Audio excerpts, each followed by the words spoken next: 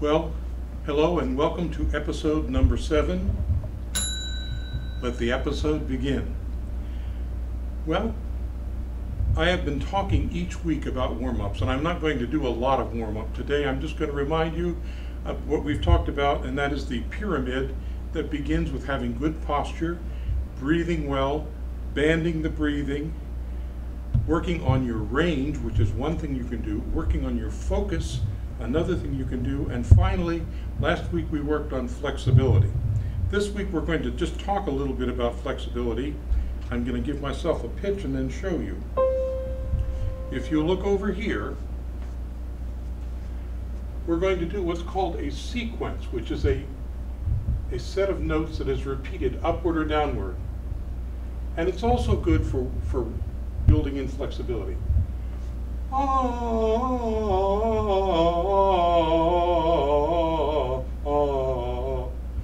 can do it down or you can do it up.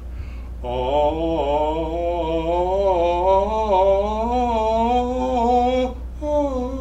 Sorry. You can also do what's called a skip or an interval. Instead of doing this middle note, we just drop it. Ah.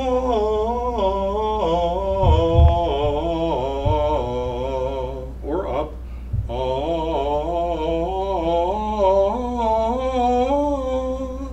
Very for flexibility. And finally, we can put them together. We can do the stepwise and then do a skip and then move on to the next, like this. Or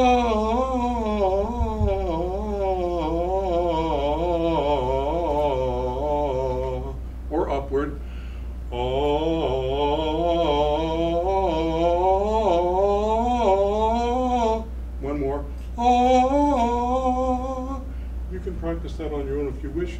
They're called sequences and they will build up your vocal flexibility. Now, I would like to go right now to something that was very, very important and people did not realize it for many, many centuries, and that is the tempo that we use, how fast or slow. And how do we determine that and how do we let other people know how fast or slow we want them to go? Well, remember the universal language is Italian in, in music. So here are some words that were used. Largo, slow. Adagio, still pretty slow. Andante, moder a, a, moderate or a walking tempo. Moderato, perhaps a little bit faster. Allegro, considered fast. And presto, very fast. Now there are many others, but these are the primary ones. And they worked fairly well for a while. But the problem is, one man's moderato was another man's andante. And what determined how fast it should go? Well, in, in vocal music, often it was the words. So for a long time, we didn't even have them. We just sang the way we would speak with, with specific pitches, and that gave us our tempo. Then they started adding these words. Now the words in Italian do not only tell you how fast to go, they also tell you how to go. For example, if it says to go slowly, is it a ponderous slowly or is it a stately slowly? If you want to go fast, is it a, a whimsical fast or is it a sprightly fast? Different.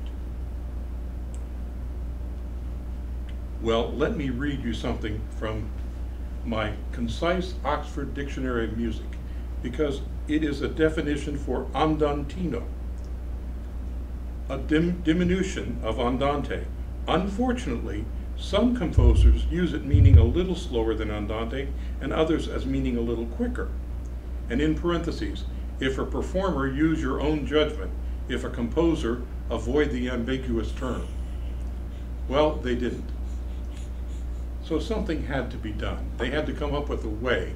Well, the first thing they came up with was they realized that a pendulum, this is a pendulum, believe it or not, just a string with some kind of a weight on the end of it, a pendulum would swing at a certain rate depending on the length of the cord and the weight attached to it. So if you have a longer cord, it goes a little bit slower.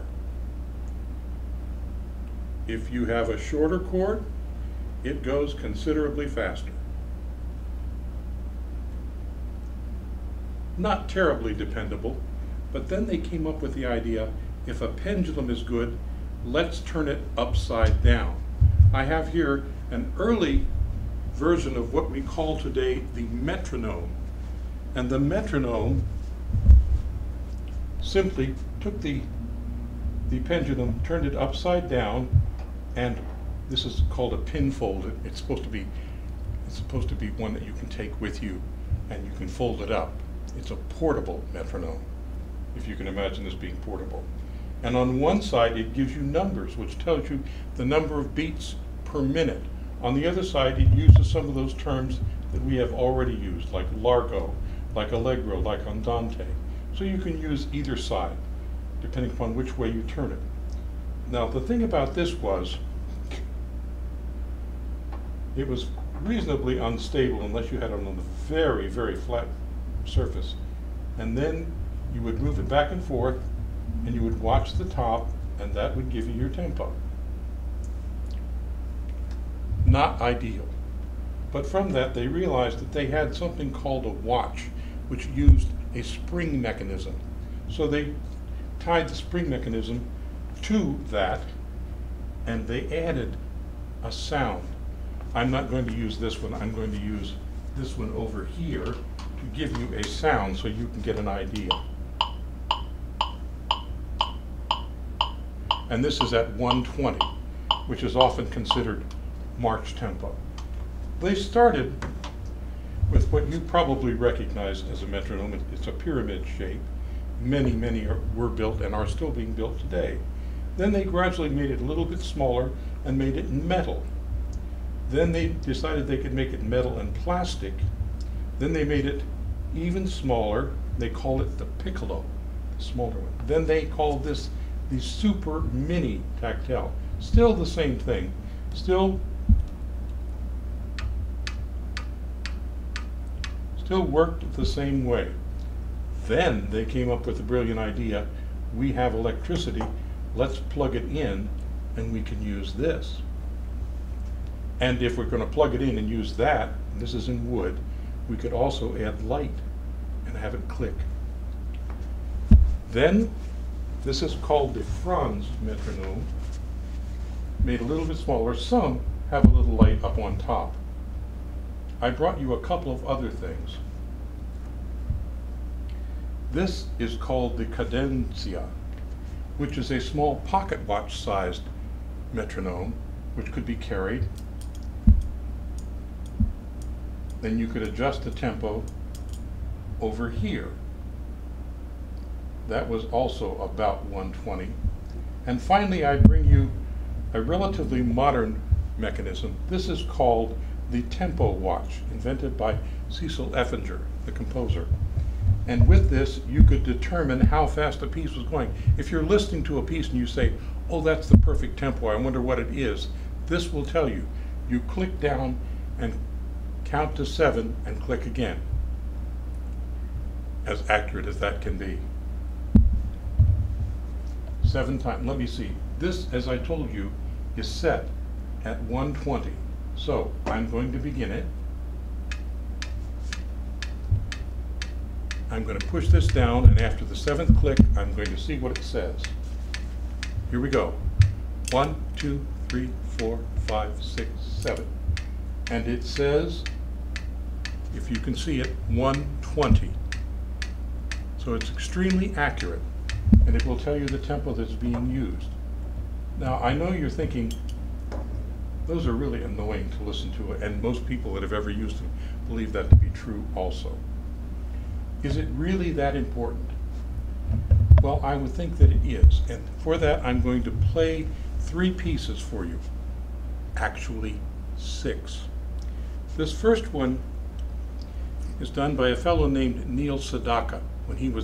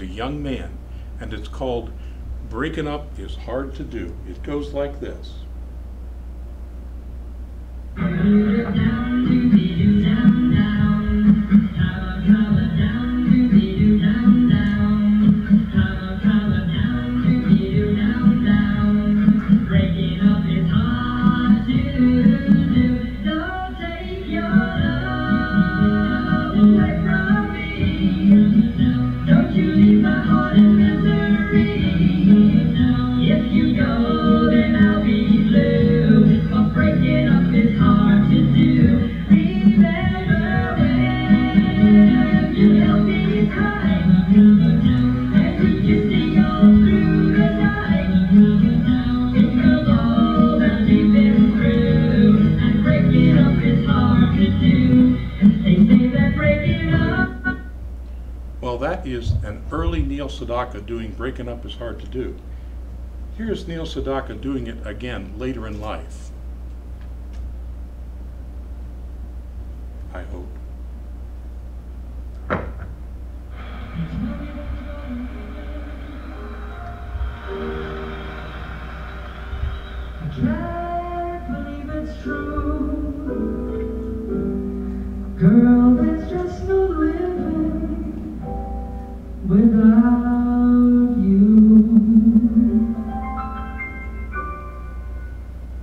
영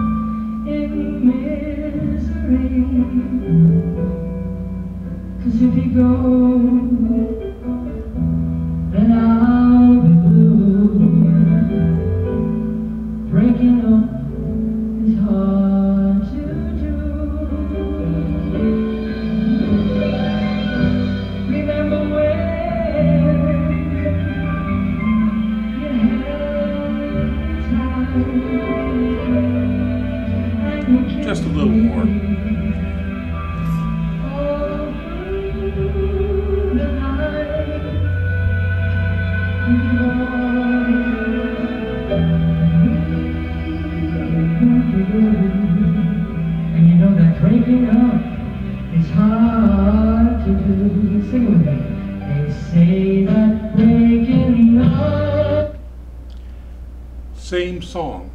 What's different? The tempo. In one song, it's kind of a somewhat up-tempo, early rock and roll. Later, it becomes a love ballad, but it's the same tune. What changed was the tempo. The tempo is very important. What else can we use? Well, I'd like to use a song or two songs that I think probably most of you are familiar with because recently there was a revival of a show, and the show was called The Music Man. Now, The Music Man was written, the words and music, by Meredith Willson, and in it, he had a song that everyone knows. 76 trombones led the big parade. Do you not know it? In that same musical, he had a song called Good Night, My Someone. Good night, my someone, good night, my love. Folks, it's the same tune. Ba-da-da-dum, bum, bum, bum, ba bum, ba bum. Bum, bum, bum, bum, bum, bum, bum, bum, bum. What changed? Among other things, the tempo. And the tempo made, again, in this case, a march, which everyone knows, 76 trombones, into again a love song, Good Night, My Someone. Quite amazing. And this last one, I, I, you're probably saying, well, what has that got to do with choral music in the church? Well, it has a great deal to do with it. With this next example, I'm going to talk to you about a gentleman named Lloyd Pfautsch, who wrote a music, a, a work called A Day for Dancing, which is meant to be sung and danced. And in it, he had this song. It's called Behold a Silly Tender Babe, an ancient text. And silly at that time meant innocent, in case you're wondering why they would use that word in, in reference to the Christ child. And here's what it sounded like very almost primitive sounding.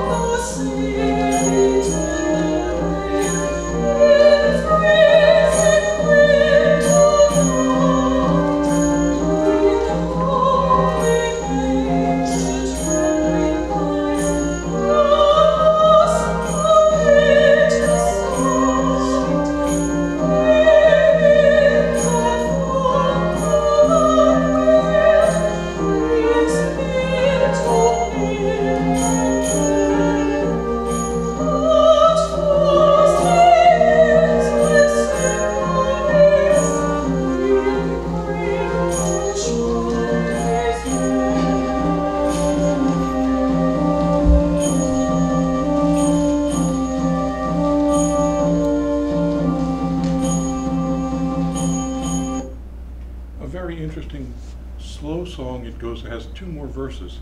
What happened for me was I was teaching this as a work to be done at Christmas time because it is a Christmas piece. And one of the ladies in my choir said something that has always humbled me. She said, Bob, why are we singing, O sacred head now wounded? And that is the tune. Behold a silly tender babe, O sacred head now wounded. So of course I had to think very quickly and I said, well, it, it's, it's foreshadowing, it's text painting, it's preparing us for the, the, the passion tide. And that seemed to please her, but I had never realized it. I had studied that score and it had been sitting there all that time.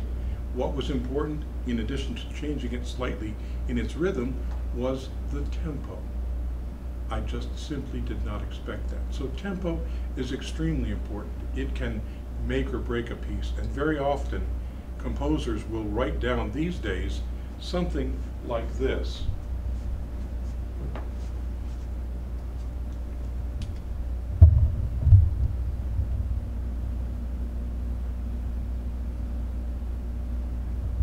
That's called the metronome marking, and it tells you if, if the, if the conductor or the singer wishes to take it the tempo that the composer originally conceived it in, they can get a metronome, turn the metronome on, and then practice the piece at that tempo, basically.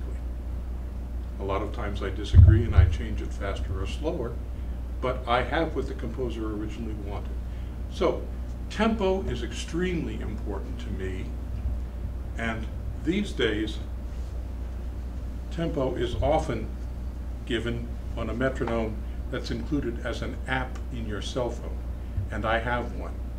And mine cheats because my cell phone takes the sound of the metronome and puts it into my head with Bluetooth into my hearing aids, sorry. So you can't hear it, but it's there for me, like a click track for me.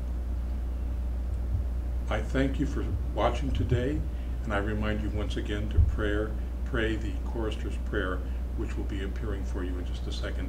Thank you and have a very good week.